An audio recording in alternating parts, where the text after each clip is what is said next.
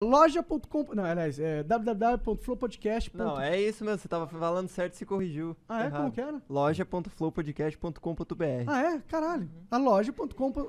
Caralho, fala de novo aí que eu não sei falar mais. Jean, bola meu blanco preto. Faz tudo de caixa preta. Porra, tem que explicar, explicar a piada. Piada Caralho, ruim é foi ruim essa piada. É, eu sei, eu sei. Não, foi ruim de nerd ainda. Cara, mas. tá ah, é, tá.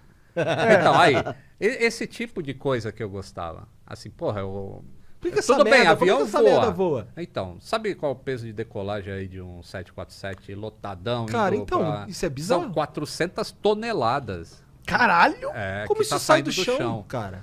Ah, Então, aí você tem que estudar física pra caralho, pra entender Aerodinâmica. isso. Por que, que o ar passando em cima da asa, ele vai gerar uma pressão menor na parte de cima do que na parte de baixo? E aí, se tu quiser... Então é isso, é isso, É, é. isso. É. O, a, a forma da asa de um avião e o ângulo da asa em relação ao sentido que o avião está seguindo, né? o- ele está indo para frente. Então, o existe uma relação entre o, ve- a- o vento relativo no avião. O que passa em cima da asa e o que passa embaixo. O que passa em cima sofre uma curvatura que. Ah, deixa eu explicar o negócio de furacão. Manja furacão? Aham. Lembra aquele filme Twi Aham, Twist- Twister. Twister. Aham. Que tá a vaquinha. A vaca. Então, quando você faz o ar circular, existe uma baixa pressão na parte mais próxima do centro dessa curvatura do ar e vai aumentando gradativamente para longe. Hum. Então, como o ar está sendo curvado na asa do avião, ele tem uma baixa pressão como se estivesse sugando aquela vaquinha. E em- embaixo a pressão é maior e é isso que sustenta o avião. E essa força que a asa faz é exatamente igual ao peso em algum momento. Senão ele não sai do chão nunca. Entendi. Então ele iguala ao peso. Aí o comandante, quando puxa o manche, o nariz do avião levanta. Quando o nariz levanta, forma um ângulo maior ainda entre a asa e o vento.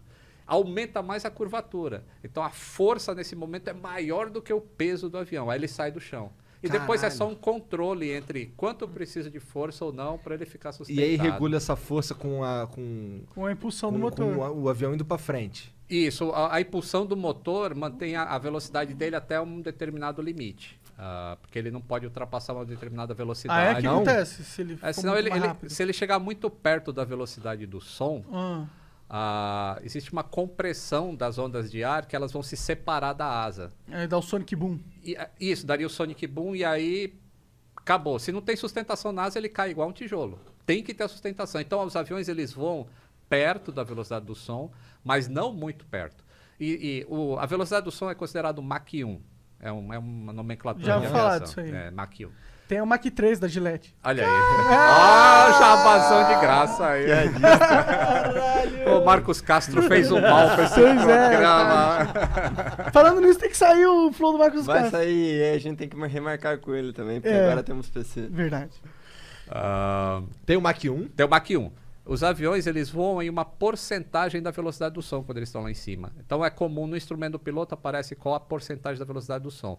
Esses aviões grandões aqui, o 787, o 777, eles voam com Mach 0.82, ou seja, 82% da velocidade do som. E eles ficam mais ou menos nesse limite. O que voa mais perto, ele vai chegar a 90, 92%. Porque aí já tem que ter uma asa bem específica para isso, senão ele perde a sustentação. Uma asa de titânio. Igual foda. aqueles caça sinistreza. Não, o, o caça já é supersônico. Esse aí tudo bem. A asa dele já é trapezoidal. É diferente de uma asa de um O que, avião que é uma asa comercial. trapezoidal, cara? É aquele que igual do. do... Ela, ela, ela não voa assim como voa um avião comercial. O avião comercial precisa gerar sustentação. Aham. Esses aviões de caça aí, eles têm motor pra cacete. Eles são é como tu pegar uma né? pedra e jogar pra cima, ela vai voar. Então aquilo, o motor mantém aquele bicho voando. Entendi. E a asa é trapezoidal justamente pela onda de choque da. Ela corta. É. Entendi. Ahn, Caralho, que maneiro. Que maneiro é, mesmo. mano. é bem legal, cara. É, é, então, quando é, entra na velocidade do som é Mach 1, tem o Mach 2, Tem Mach 2, tem, Tem Mach Mach 3, 3 e vai embora. tem Mach infinito. Esse, O que, esse, que é Mach 2? É dois, duas velocidades- vezes a velocidade Entendi. do som. Então seria aí 1.250 km por hora ao nível do mar, com temperatura de 15 Tem graus, isso, densidade, né? Tem isso, tem aham. tudo isso.